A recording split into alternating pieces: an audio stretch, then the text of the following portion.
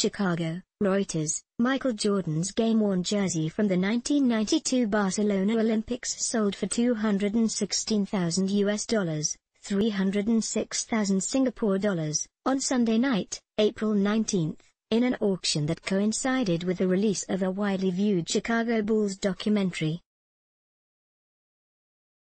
Robert Edward Auctions, which sells high-end sports memorabilia, confirmed the sale of the autographed, game-used jersey.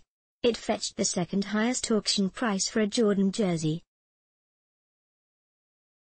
Bidding opened at 25,000 US dollars on April 7 and ended on the night of the premiere of ESPN's The Last Dance documentary. Michael Jordan is arguably the most iconic athlete of all time winning six NBA titles and two Olympic gold medals, Robert Edward Auctions president Brian Dwyer said in a statement. Collectors relished a rare opportunity to own Jordan's jersey from the 1992 Dream Team, the greatest basketball team ever assembled. Let's block ads. Why?